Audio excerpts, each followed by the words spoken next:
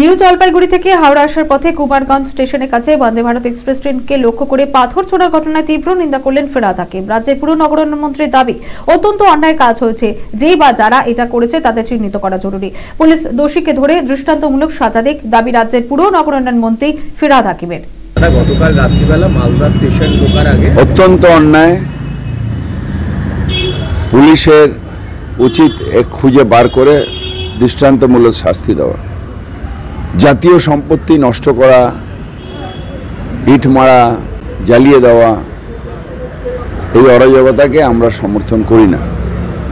অত্যন্ত যেই করে থাকুক অত্যন্ত অন্যায় করেছে এবং দোষীর শাস্তি হবে। বিজেপি নেতৃত্বের মধ্যে কেউ কেউ বলছেন এনআইএ তদন্ত চাই কেউ বলছেন বাংলা এসব এসব এসব এসব বোকা বোকা কথা। এই ট্রেনে ইট ছোঁড়া এগুলো কিছু দুষ্কৃতি চিরকালই করে।